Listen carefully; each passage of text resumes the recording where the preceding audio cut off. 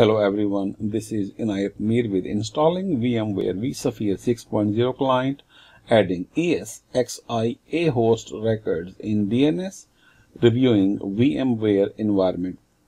So this is my ESXi host. This is my first ESXi1 server with IP address 192.168.1.19. This is my second ESXi2 host which will be used in this environment with IP address 192.168.1.20. I am going to log into my domain. Domain is dev.com. We have already Active Directory available now and also we have a member server. So as you can see my Active Directory with IP address of this server is 192.168.1.113. Now you can see my vCenter 1. I don't have vCenter installed yet, but this is the environment I'm preparing where we can install all prerequisites for the vCenter server. So here are some links. SQL client also is part of prerequisites. I'm installing here very uh, quickly uh, SQL uh, client you simply can go download the client. If you don't have it i do have a dropbox link uh, where you can go and get it and install it. Very simple straightforward.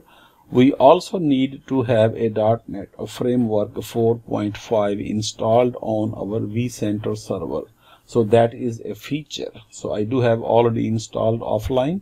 You can see that we do have these uh, two prerequisites I have a single uh, hard drive on uh, my this Windows server. I am keeping these tools in my hard drive here.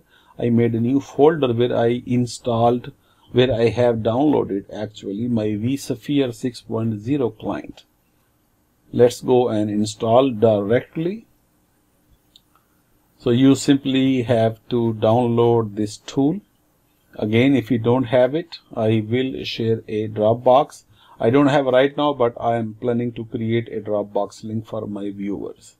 In real life, you will see that this installation may take a little while, but I uh, fast forwarded actually this my video. You can choose a customized location or you can install at a default location vSphere client. So I'm not going to browse, play, and uh, work with the vSphere client just the installation. Uh, I want to show you the setup the environment what I have.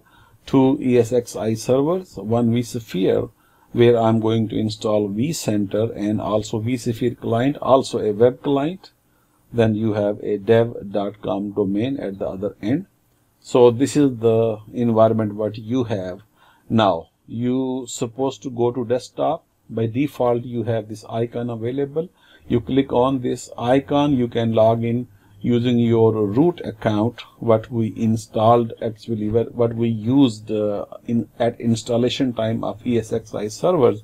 But I'm not going to do that. I'm going to skip this right now because we need to have DNS records in our DNS server. So 1.19 and 1.20 these two records I supposed to have available in my DNS because uh, ESXi servers are not domain members uh, at this time. So I am going to join these two ESXi servers to the domain. But first I am going to in, uh, add a host record in my uh, dev.com DNS so simply you have to right click anywhere once you select your forward lookup zone choose new a host record. My first server name is ESXi1 with IP 192.168.1.19 click on add host. Okay done. This one is done. Now before I click on done I'm adding a second ESXi 2 host 192.168.1.20 is the IP address. now at this time you can click on ok and done because that's that's all we wanted actually to have it. Now you can verify the connectivity by going into the command line and try to ping these two hosts one by one. We should get a reply. Very good. And the second host and we got the reply. That's mean uh, we did whatever we wanted to do in this video. In this brief and short video i will come back in my uh, next video where i am going to start preparing for installation of vcenter thank you for watching. I will see you in my next video. Bye